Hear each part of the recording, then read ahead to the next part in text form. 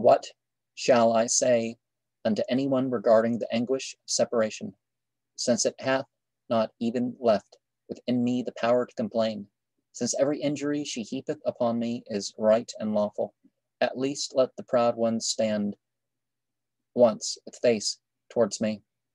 The gold bracelets upon her wrists make an amazing display. Fit, let them never become broken from the disasters of fate. For my case, O physician, thou ever showest commiseration.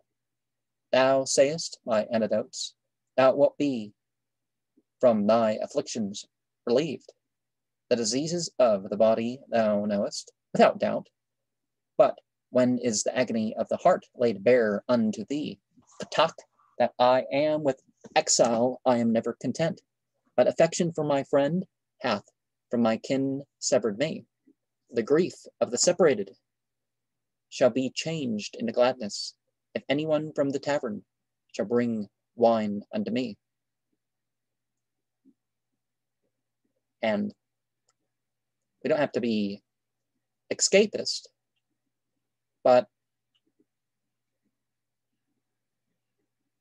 if we share in the guidance, the consciousness thereof, our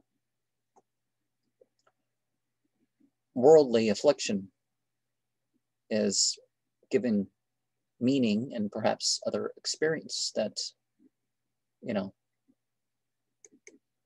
transforms it, you could say.